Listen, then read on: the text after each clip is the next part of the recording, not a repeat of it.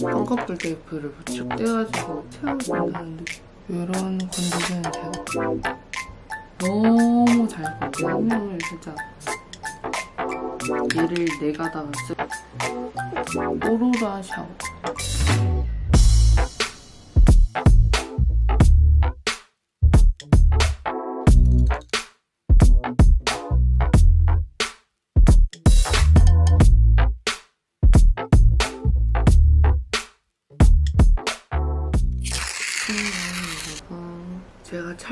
지금 두 번째 하는 거예요. 왜냐하면은 녹음이 안 되어버린 불상자가 일어나서 메이크업을 다시 하게 돼요. 총 이 메이크업을 총 세 번 하게 되는 거. 쌍꺼풀 테이프를 붙일 건데 제가 또 쌍꺼풀 테이프 장인이거든요. 이걸 이렇게 올려두고 시작을 할게요. 이거는 진짜 메이크업 샵에서도 티가 안 난다고 어떤 거 쓰냐고 물을 정도 다이소 쌍꺼풀 테이프를 준비합니다. 이게 굵은 거랑 얇은 거 이거 두 개가 있, 을 거란 말이에요. 둘 다 써보고 더 괜찮은 쪽을 찾는 게 좋은 것 같아요. 저는 두 개 다 써봤는데 굵은 게 낫더라고요. 저는. 떼서 떼가지고 친 그대로 손바닥에 올려줍니다. 그러니까 찐득이가 손바닥에 닿게끔 붙이는 거죠. 스킨 있죠? 근데 물 스킨 말고 이런 좀 물보다는 꾸덕한 그런 스킨 위에 살짝 뿌려줘요. 꼭 이런다니까. 보이시나요? 안 보이죠? 여기 안에 있거든요. 이렇게 돼 있죠? 그래서 물을 살짝 덜어내죠. 위치에 넣고 차라락 하고 붙을 거예요. 그럼 앞머리를 살짝 한 번 더 잡아서 원하는 위치에 놔두면, 놔둬주면 돼요.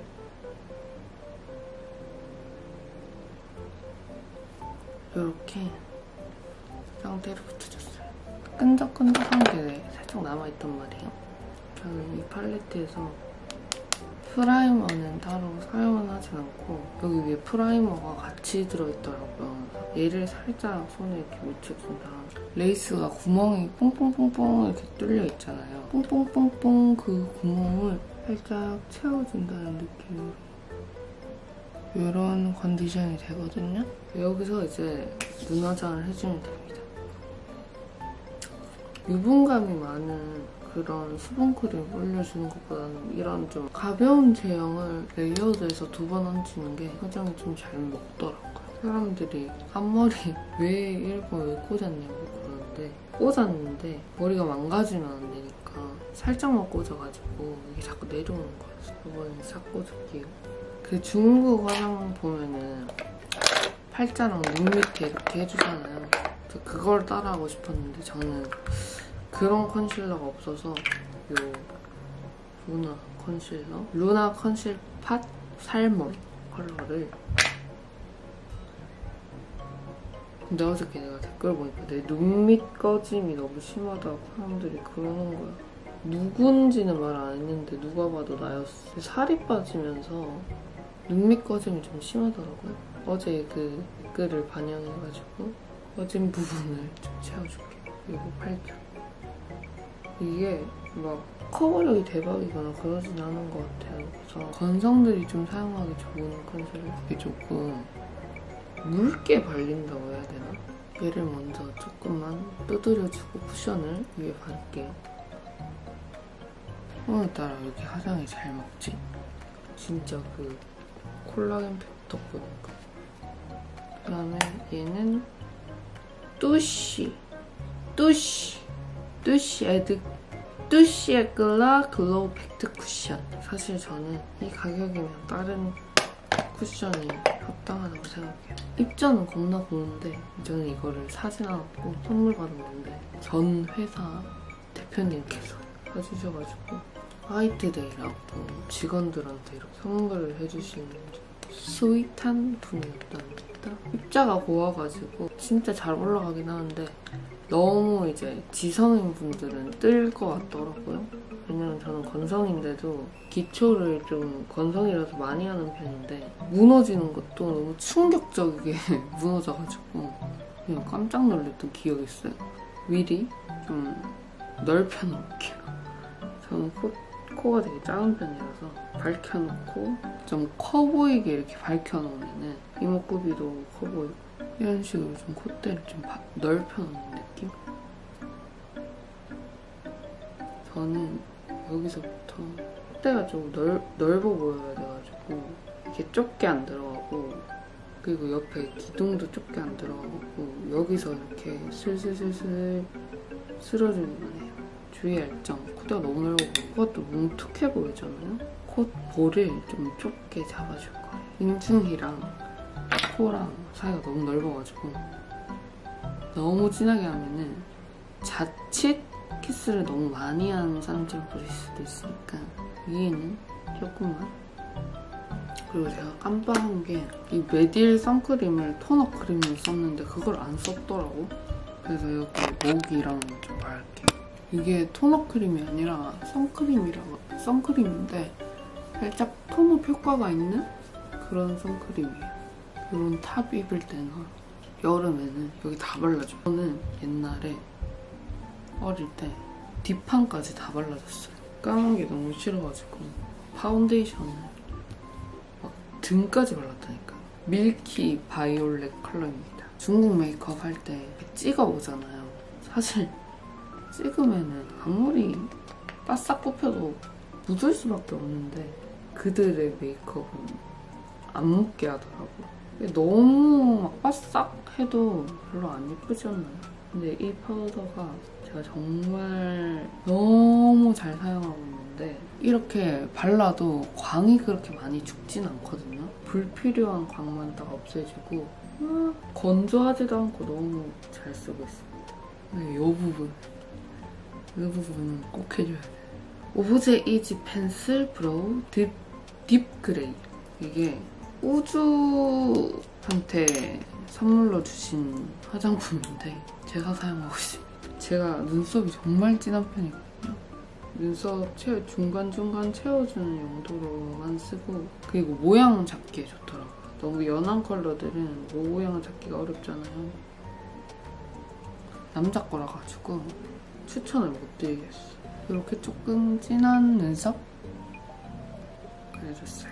뒤에는 살짝 또렷해도 상관없을 것 같아가지고 이렇게 그라데이션 느낌.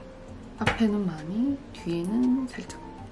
이거는 360 머리 컬러가 어떻든지 말든지 에뛰드 Drawing Eyes Coloring Brow Cara ash brown 컬러 이게 제일 저는 잘 맞더라고요. 제 피부 색이랑 좀 잘 맞는 것 같아요. 진짜 coral 느낌의 컬러인데 눈에 바르면은 살짝 제 피부톤에서는 살짝 주황색 빛이 돌거든요. 보기에는 살짝 핑크, 연한 baby pink인데 바르면 살짝 그렇더라고. 왠지는 모르겠는데. 쌍꺼풀 테이프 티 별로 안 나죠.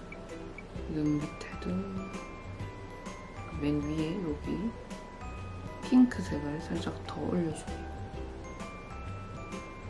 음영을 넣을 건데 음영을 살짝 그레이시한 빛으로 넣으면은 살짝 다시 쿨톤을 돌아오고 이 컬러랑 요거를 섞어서 쓸 건데 그 위에 살짝만 올려주고 아이라인을 그리고 나서 그 위에다가 좀 더 진한 색을 올려줄게요.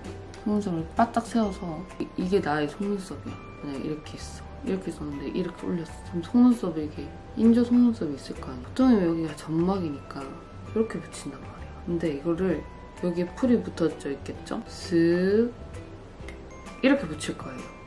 그래서 속눈썹을 그냥 세워주기만 하면 돼요. 촘촘하게 잘 채워주셔야 돼요. 이렇게 눈 모양에 맞게 살짝 길게 빼줬어.